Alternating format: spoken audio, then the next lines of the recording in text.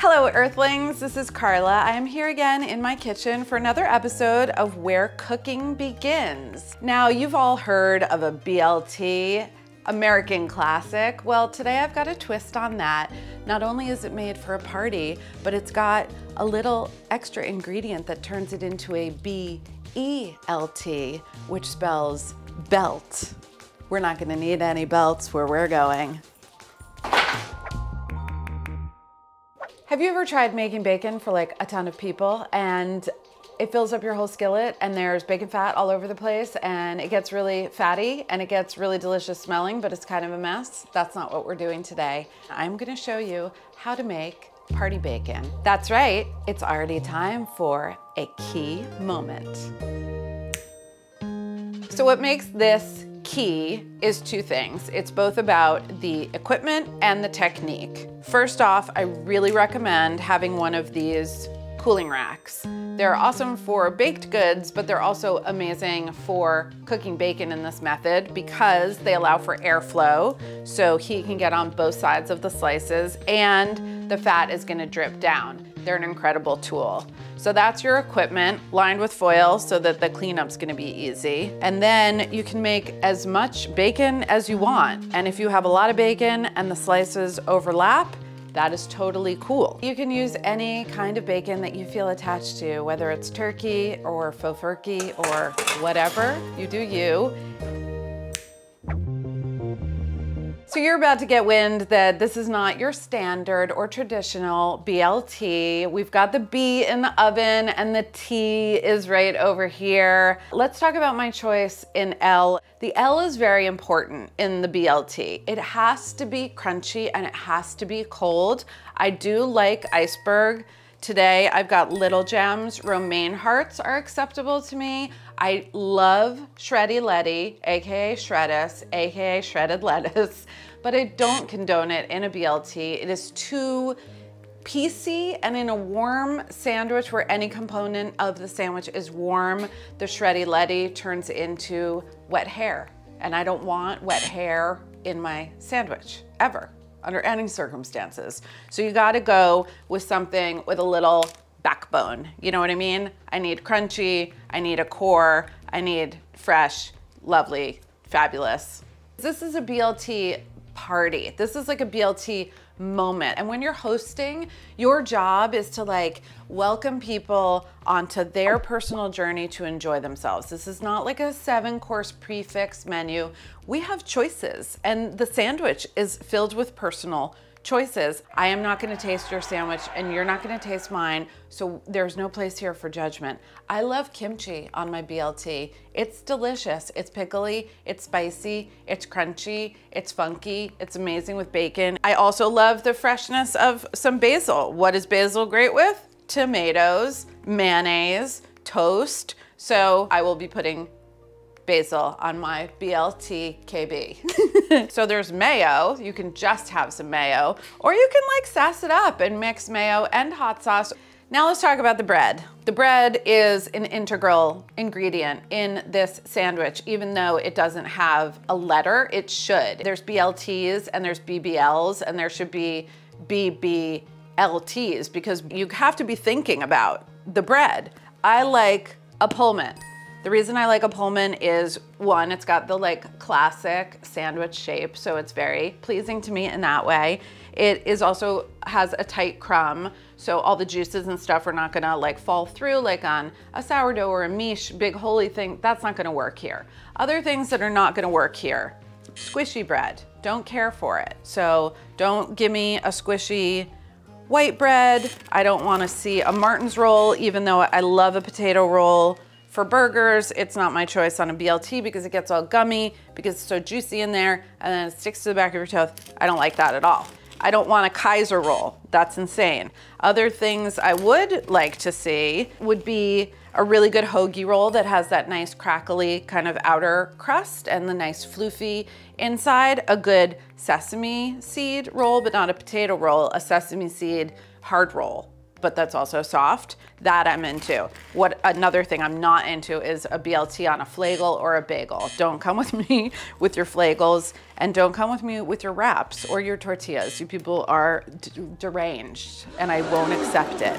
Um, I do accept stepping out of the boundaries flavor wise, but when you're talking about the bread, you're talking about the architecture and you cannot play around. Time for the tea. Omedo. Very important. Do not make a BLT without a good tomato. It's not worth it. You wanna have delicious tomatoes. They don't have to be heirloom tomatoes. I personally love a great Jersey beefsteak, one of the great sandwich tomatoes, but they do have to be ripe. So how do you know if a tomato is ripe? You're probably buying them in the season that they're grown. That's a super great key. They should have nice green stem still kind of visible. So if this is sort of brown and scraggly and like a dead fallen fall leaf, that means it was picked a long time ago and it's not gonna be as good. And then you should just be able to pick it up and smell it. And it smells like delicious summer tomato. That's how you know when a tomato is ripe. If it's pale pink and rock hard, it is not ripe. Just gave you all of the tea on the tea. So we have a BB B-L-K-T. Oh, there's another secret ingredient. It starts with E. Can't tell you yet.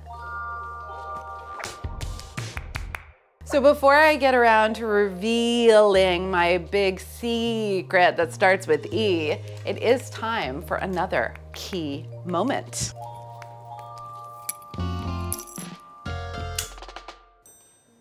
So what I love about this bread is the delicious crumb.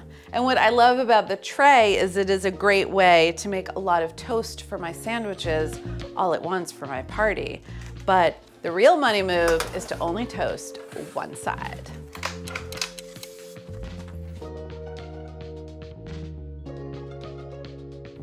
This looks perfect. So I have beautiful golden brown, even Steven on this side, this is going to be the inside of the sandwich. So this toasty side of the bread is gonna be next to the business. The mayo, the juicy tomato, the kimchi that I am choosing to put on mine. And because this is dried out, it's a little bit of a waterproof layer, it's not gonna sog out. On the other side, we have soft, and steamy, but delicious and warm. And that's the side that your teeth are gonna crunch through. So you're not gonna get the scraping sensation, but you're still gonna get the delicious crunch and you won't get the sog. You didn't even have to turn them over while they were in the oven. Now it's time to fry the E. Baking came out amazing. It's everything that I wanted it to be. So the best way to drain bacon after you've cooked it is on a paper towel lined plate or if you've got one of those cooling racks, that's nice too, just so everything um, gets air and doesn't get steamy underneath. Looks totally gorgeous and the perfect combo of chewy and crispy, which is how I like it. I am actually going to save the bacon fat that collected in the bottom of the tray and just keep it in a little jar. I need a couple tablespoons of the bacon fat right now. And I'm gonna get this pan over medium, medium high heat. It is finally time for me to reveal the secret E. And what do you know? It is time for another key moment. Hot pan, you can use a nonstick and plenty of oil. Drop the egg right in. All of that bubbling and spattering is good. This style egg is like a oil fried egg. Some people call it a Spanish style fried egg, but it's gonna give crispy edges and a set white and a runny yolk. And then one of the most annoying things about frying an egg is that the edge is gonna set but the inner white is still gonna be runny, and then you risk overcooking your yolk. So the workaround for that And this is why there's extra oil in the pan. So you can actually spoon some of the hot oil right over the yolk. Always season your eggs.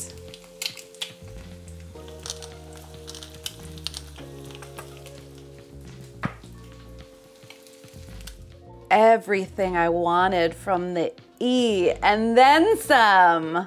It's crispy on the edges. The white is totally set. The yolk, you know it's runny. It looks excellent.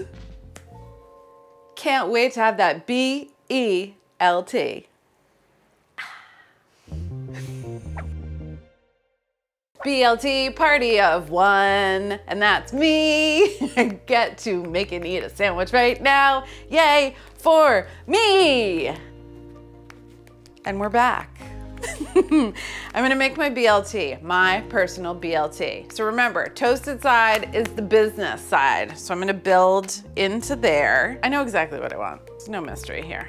Hellmann's are best foods. That's, that's where it is for me. I know about the Duke's Mayo people. I hear you, I love you. Maybe, maybe at your party there will be multiple mayos. Okay, this is what I call wall to wall. If you ever see this in any of my recipes, when I say to spread it, wall to wall. A little hot sauce, little hotsy totsy. I'm putting my tomato on the bottom. You do whatever you want. Mmm. Mm-hmm, mm-hmm. I forgot to salt my tomato. Gotta salt the tomatoes. Now, breaking the spine a little bit on my lettuce. Kimchi is going into the cradle of the lettuce. Mm-hmm, mm-hmm, mm-hmm. We gotta get the bee involved. Bacon is gonna be next to basil and some basil flowers because why not? What did I forget? Anything, anything, anything? Oh, the E. A sauce bread party. Oh, oh, I didn't mean to do that, but I did it anyway. Just because I believe every sandwich should be cut in half diagonally. That's what's happening. Lord, lordy, lordy, lord. That, my friends, is a belt, or in this case, a B, B, E, L, K, T. Mmm, mm-hmm. Mmm, mm-mm. I can't wait to try it. Mmm. Mmm. Mmm. Mm-hmm. The fact that you can get into it in such a welcoming, pillowy invitation of the outer soft bread, and then what awaits you is like a smack in the face. It's like, oh, come right in. And then it's like, chop, chop, yeah. Somebody just grabs you and grabs you by the shoulder and wake up. Can't you see? Can't you see this is the greatest day of your life? Stop messing around. And you're like, whoa, thank you. And they're like, smack, smack, smack. And you're like, ah. You're right. How did I ever doubt anything? It's a life affirming sandwich, an LAS. I know if there's something that the last couple of years have taught us, it's that um, we don't need belts, but we do need this sandwich. You ever get tired when you're throwing a party? Do you ever get tired when you're talking about BLTs? Do you ever get tired talking on the phone for a long time with your mom when she called when you were setting up for your BLT party? May I introduce you to the Pullman Ottoman. It's the Pullottoman, and it's a great place to just rest, take a load off, put your hands somewhere, and relax, because we all just need to take a moment. Ottoman, $6.99, daddypasta.com.